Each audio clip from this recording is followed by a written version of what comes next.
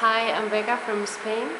Uh, I came to Calcutta between many other things to meet Dr. Amar Kumar, uh, a guru of Reiki. Uh, I have first and second course of uh, Reiki. Um, I did it in Spain, and I came here to get more in depth in the um, in the subject.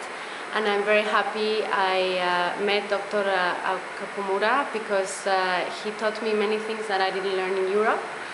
Um, in Europe, we do Reiki for in a hospital with kids with cancer to help them go uh, to help them go through the chemo, and uh, that's why I really wanted to um, to do this course, Reiki course here in Calcutta, and I'm very happy I did it with my friend from Germany. Uh, it was a great experience, and um, yeah, totally recommend it.